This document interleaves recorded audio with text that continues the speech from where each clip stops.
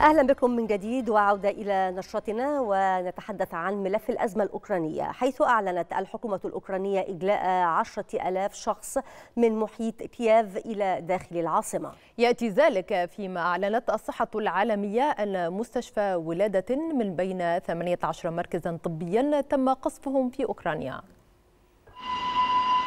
المدنيون في أي مكان تشتعل فيه الحرب وحدهم من يدفعون فاتورة تلك المعركة أيا كانت أهدافها ودوافعها. وبالرغم من اختلاف ردود الأفعال العالمية تجاه هؤلاء المدنيين يظل الوضع شائكا ومؤلما. فعلى إثر العملية العسكرية الروسية في أوكرانيا تم تسليم 81 طنا من الإمدادات إلى كييف بحسب تصريحات مدير منظمة الصحة العالمية تدرس أدهنوم كما أنشأت المنظمة خط أنابيب من الإمدادات الإمدادات للمرافق الصحية في جميع أنحاء أوكرانيا وخاصة في المناطق الأكثر تضررا. ويقوم مفوض الأمم المتحدة السامي لشؤون اللاجئين بنفسه بمساعدة الأشخاص الذين عبروا الحدود إلى البلدان المجاورة. وأما على الأرض فما زال الوضع رغم كل المساعدات صعبا نظرا للبرد القارس ووعورة الطريق على الشريط الحدودي للبلاد. بدوره قدر رئيس مفوضية الأمم المتحدة لشؤون اللاجئين فيليب جراندي أن يصل عدد اللاجئين اللاجئين جراء العملية العسكرية الروسية إلى ما يقرب من مليونين ومائتي ألف لاجئ. عبر منهم حوالي 120 ألفا إلى مولدوفا فيما فر أكثر من واحد وثلاثة من عشر مليون شخص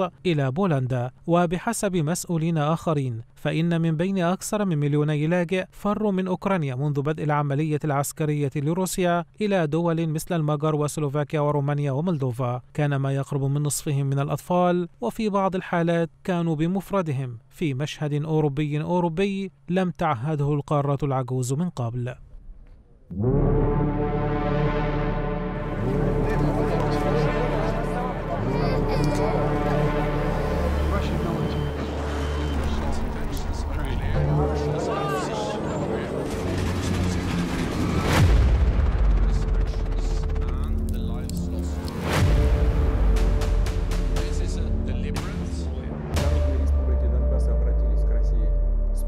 pouco.